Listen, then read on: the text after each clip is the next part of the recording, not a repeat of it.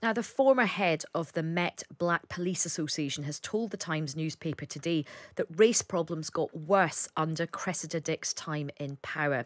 Janet Hills, MBE, says that the former commissioner treats racism in the force as a thing of the past and was defensive and dismissive when issues were raised. Well, Janet Hills joins us now. Good morning, Janet. Morning. Now, you've served under two commissioners, Janet. What was it about Cressida Dick that, in your view, made the situation worse?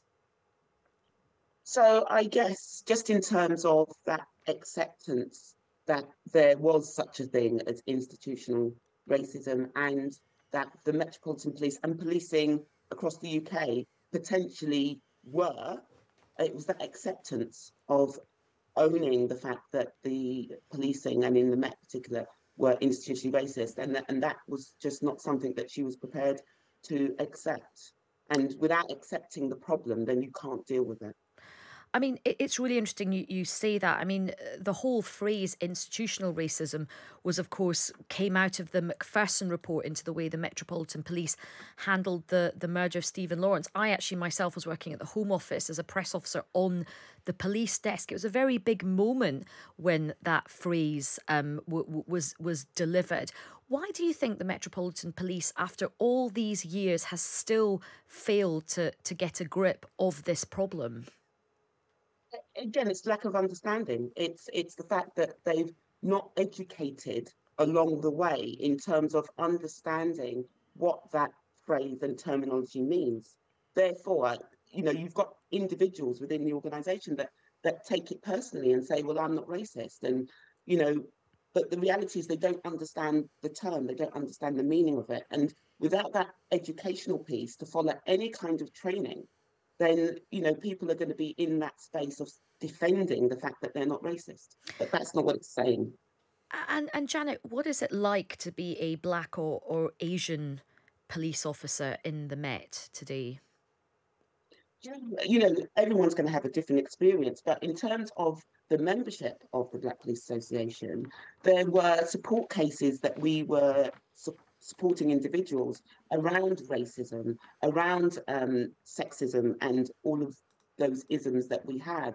And that is something that we do as an association. And in terms of having that mentioned to the senior leaders, that is what we're there to do. We're there to ensure that the ground floor and the issues that are happening to the membership across all of the 20 staff support associations, because there's 20 in the Met, that that message reaches our senior leaders and therefore they're in a position to nip any of those problems in the bud.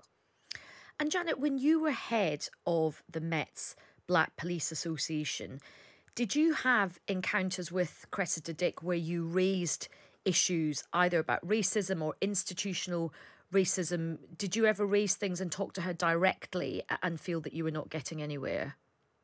Absolutely. I mean, that, that was our role or my role at the time as a critical friend, as it was termed, to be that conscience, I guess, of the organisation and have those conversations not only with um, the commissioner, but with other senior leaders in their departments to ensure that there was a balance um, around the way in which they saw things. Because at that level, senior leaders will tell you what, you know, the commissioner, what she wants to hear. Um, and that's the way it was from from the ground floor level then you got sort of like a more balanced picture in terms of what was actually going on and what the members were saying were happening to them and what and how we were supporting them.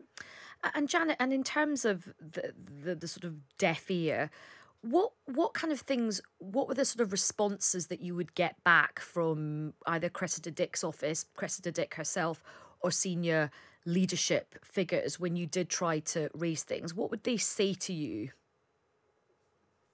Again, it was uh, just in line of so the institutional racism term, you know, that the commissioner had said it, she didn't find it helpful and that, you know, she felt the organisation had moved on and and come, you know, was had come a long way. But then you heard that being repeated. You know, it was almost like you know you didn't have a mind of your own to say what you needed to say so you know once that message was there then you had other senior leaders then repeating it to you um, in terms of, you know, well, that's our position and we're not prepared to discuss it. And you know, there's the the force has said for a long time since the Macpherson uh, report into the the murder of Stephen Lawrence that it's really important for the Metropolitan Police and indeed other police forces around the country to try and um, attract Black and, and Asian people and indeed women to join uh, the police force. But you know, how what would you say to anybody who was black or asian who wanted to join the, the police force who may feel that it's it's somewhere where they they might not be welcomed? How do you try and get people from minority communities and of course women into the met right now? Again all i would say is that it is an exceptionally good career to have to join the police However, you know, you come with your own lived experience and you hopefully will be treated in a fair way, um, an equitable way in terms of your policing. You know, you're going to come and you're here to serve your community.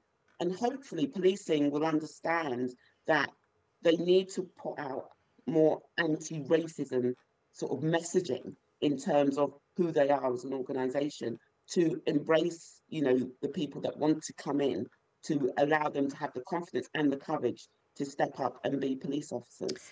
Um, and final question, um, Janet. You know, we know that institutional racism is a, a big issue in the Metropolitan Police. Um, what extent will the removal of, of one person, Cressida Dick, make a, a difference to this sort of systemic discrimination? What what do you think needs to change? Because just changing one person isn't going to solve the problem, is it? Yeah, I, I, I agree. I don't think that changing one person is. I think you do need a whole new team in there. Um, and I think you need to have, again, a team that is inclusive of everyone, and in particular, people with a lived experience. Because as we know, we don't have enough senior leaders who are from an African Caribbean or Asian background to be able to give a perspective.